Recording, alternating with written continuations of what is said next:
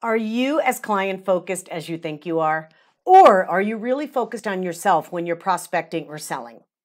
Every day, I hear entrepreneurs, salespeople, and business owners declare that they're client focused and that their sales communication is centered all around the customer. Unfortunately, what they declare is radically different from what they're actually doing. I want you to check the last one or two dozen emails you sent to a potential client and count how many times you use the word I. And it sounds like this. I would like to set up a time to show you a demo of our products. I would love to schedule time with you and tell you who I am and how I can help you. I would love to get 30 minutes of your time to explain our services. I would love to schedule an appointment with you and discuss how we can save you time and money. I would like to introduce myself and my company.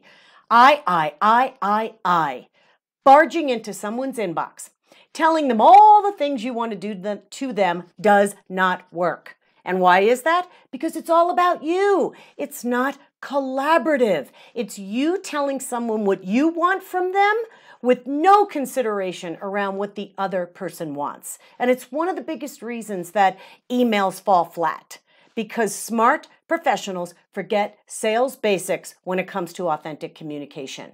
They put the focus on themselves, not the person they're attempting to communicate with. So go ahead and check your emails and see how many I, I, I's are in there. My clients are always shocked when I when I make them do this exercise and they say, "No wonder why people don't get back to me. No wonder why I have to send two or three emails before someone gets back to me."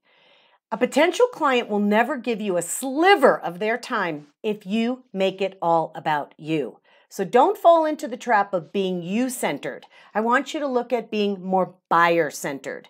So instead of telling someone what you would love to do to them, make it collaborative and inviting. Because when you make selling about you, you make it really easy for people to avoid you and blow you off.